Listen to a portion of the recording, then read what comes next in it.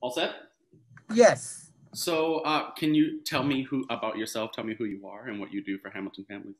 So, my name is Ivory Collins. I am a housing navigator specialist for housing, um, rapid rehousing. Um, I've been with Hamilton almost 18 years come September, this September. I started uh, September 2003. Hey. Um, I started in the shelter, the emergency shelter. We were over in the Haight Ashbury district. And then we merged to uh, the shelter now, which is at 260 Golden Gate. And I was there up until about four years ago, five years ago. And then I became a navigator specialist. Wonderful. So, I mean, how does your experience as a Black woman affect your work? I mean, I, I, know just from my limited perspective that Hamilton Family works with a lot of Black and Brown families, and um, uh, from what I'm hearing, a lot of those families are also single mothers. So, like, what's your perspective? How does you know your experience as a Black woman affect how you interact with these incredible humans? I think this is just my perception.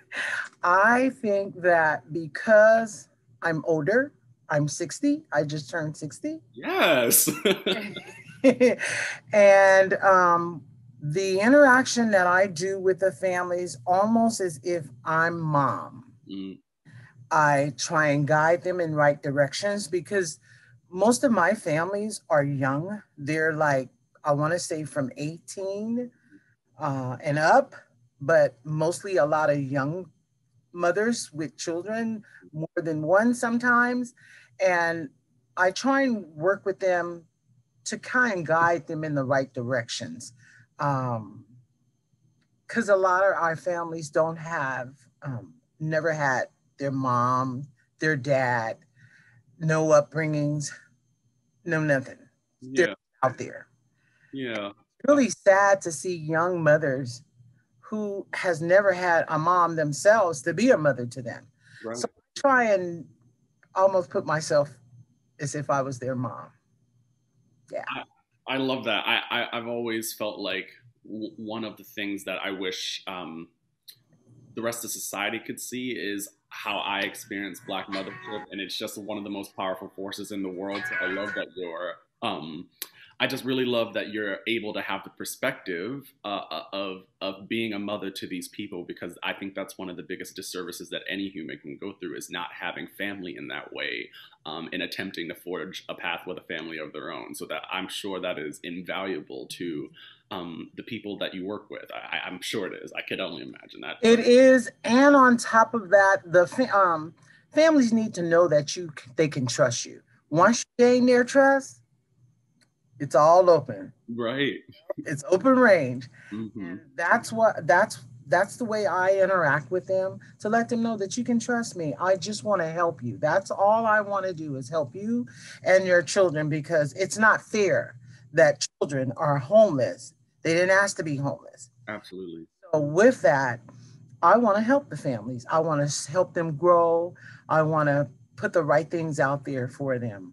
You know, I, it's we have to be positive with the families and have empathy and sympathy with them you know um yeah I, I, I, just love the families i love working with the families and um these are our future generation this is my future generation mm-hmm. and I want it to be right. yeah, yes. I want it to be right because I might need one of these children. And so um, you know, it's important that we always think positive and lead the families into a positive direction. Mm. Um, I know they go through a lot, but they need to know that we're here to support them. Absolutely. I, I, I love that. Um, and I wanted to also ask you, like, what is the working environment like uh, as a black woman in Hamilton families. Like I, I, working with the actual families is one journey, but also being in a space with a collective group of people all working towards the same goal as a black woman in in business. Like, what's that all like? Um, as far as my colleagues, yeah, the the the um, system that kind of supports the families. You know what? I love it because we all put our heads together, and if we have a difficult family, we can go to each other and try and work it out. And I, I like to get ideas from my colleagues. Um, sometimes I run into difficult um, situations with different families and different barriers that they have. And so I think we are a close knit um, family. Mm. I of Hamilton as my family. That's I colleagues as my family or part of my family. Mm-hmm. Um, and they're my to go to. I always go to them. So um, I think it's great. I think we have a great team over here. Yeah, I, it seems like it. I mean, they, they always say, you know, things start from the top. So, how are you meant to be of service to anyone else if you yourself don't feel supported? And how can you support the next um, person along the line if you don't feel that? So, I love to hear that, like, you feel that Hamilton Families is a family. I think it it's all in the name, and that that name is living up to its expectation is good to hear. I think we need more of that in the world. I feel. Yes, we do. We do. Sorry, give me one second. I was holding in a cough. Good heavens. um, what do you think sets Hamilton families apart from other similar organizations? I think the um, fact that we have stability, mm. who steps in after we move the families, and we still have like aftercare. Mm. Um, in our transition program, we have an aftercare program. Even though you move from transitional, your children can still come back through the program. Mm. And um, that's what I really like is that long term, we will always be there for you. Always. You can always come back to Hamilton. That's one thing that is different from any other organization is that you can come back to Hamilton. You know, you mentioned, and, and I, I love that. You mentioned um, about how how it's a family and how you attempt to fit in the space of mother to the families that you work with and i and i'm thinking about this when i think of like you know we're in black history month and i tend to think about it throughout the year just because of the work that i do and and the, mm-hmm. the human i'm trying to become mm-hmm. i think especially around this time i'm i'm just i sit a lot of time with the legacy of of the black culture of um, the people who came before me. And I think for some reason, the thing that always comes up is I find so much heart in our community, um, mm-hmm. so much love and compassion, and and the idea that Hamilton families builds an environment that is often some people's first trust. It's their first opportunity in their current state to feel taken care of and to feel seen and for some reason that is how i see our black community. Like i'm like when we love we love hard. We can love yes. love for for long periods of time. And and i love that hamilton family seems to embody that because i just think one of the saddest things about how our country can function is that it doesn't highlight that version of our reality that like yes. people that i come from are loving and the people that i come from know how to build foundations for growth and success in, in a way that I think is profound. And, and to know that there are organizations out there like Hamilton Families who it seems it's like in the very DNA of your organization to make that someone's reality is like breathtaking, to be quite honest. Yes, it is. Yes. Um, I also wanted to ask you, what makes you proud to say you're a part of Hamilton Families? Like when you're when you're talking to your, your your biological family or when you're running to people on the street who ask what you do like what's that like thing that, a source of pride for you the fact that we i think out of all the nonprofits here in san francisco i think hamilton is at the top yeah. because we really we we're really into helping families and, and guiding these families and i love the way that we love our families and we give all the different services to our families. I love that about hamilton. And that was one thing that really made me excited when i came to hamilton to see how we just helped it we don't turn anyone away. Mm. never turn anyone away. And i love that about Hamilton. I love the fact that um, family is first. Yeah. Family is first. In this organization, family is first. And I love that. Yeah. I tell everybody about Hamilton.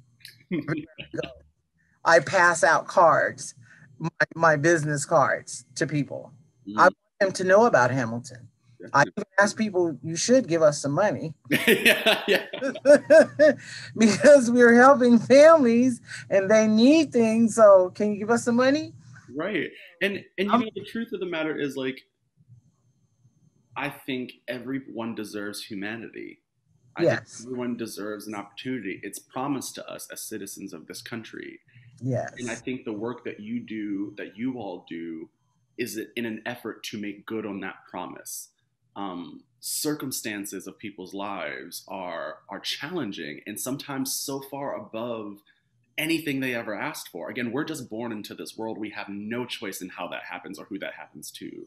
So to know that that is true and that also the circumstances of our society may dictate that a family, a person may experience homelessness and they really had very little control over it is scary. And to know that there are yes, it is out there, they're like, no, this country promised us something. We as humans owe something to one another. So let me be part of the solution is crazy to me. I I I, I think it is easy for everyday humans like myself to forget the incredible work of an organization and people like you all at Hamilton Families. But I do want to ask, like, how it is easy to assume what you all do for your participants, for those mm-hmm. families. Mm-hmm. But how do they affect you? How have they changed the way you do your work, the way you see the world, the way you walk through life, working with these incredible families? How has it changed me? Mm-hmm. Um, I think it made me open my arms to everyone because everybody comes to me. Everybody, believe it or not, comes to me, my family, my friends. And so I just think it has just made me um, Mother Teresa. Yeah. I mean, that's how I feel. Like I'm Mother Teresa because everybody comes to me. Um, everybody calls, oh, Miss Ivy, uh, this is what's going on. Can you help me? Right. That's just how I feel. I just think it's made me a better person and to see really what's going, the reality of what's going on, especially here in um, San Francisco. Hmm.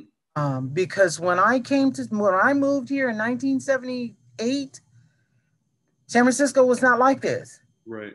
So, I mean, there was a few homeless single adults, but when I saw families, that just made me feel so sad because, like I say, I can imagine a child feeling like, where am I going to get my next meal? Where am I going to lay my head? I've ran into situations like that. I've taken people off of the streets to our shelter mm.